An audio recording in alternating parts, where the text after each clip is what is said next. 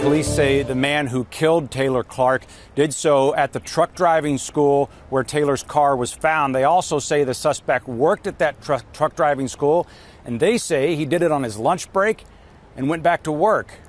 This is the man police say killed Clark. 24 year old Michael Gordon. Police say Clark and Gordon had never met until Clark posted his car for sale on Craigslist.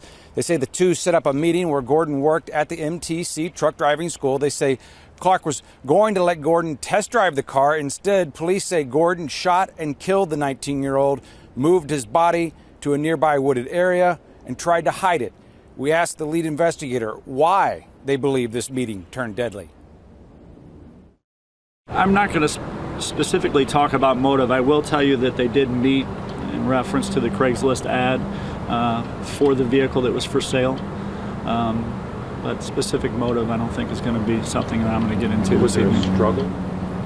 Uh, he was shot one time. Yeah, by all accounts, uh, this is a very tragic situation. This is a, a, a young man who was going to college. Uh, he was a good person, a good citizen, and uh, certainly he didn't deserve what occurred to him.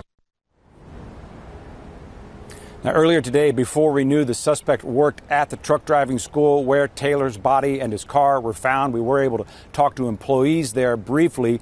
They declined to say much of anything really, except to say that this was all a mystery to them.